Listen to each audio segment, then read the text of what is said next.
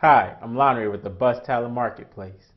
You need to know about the Catskills Empire Kitchen Island on sale at Sam's Club. It features two pull-out side leaves. It has a durable wood construction and it's made in the USA. Want to get the best price? Click here.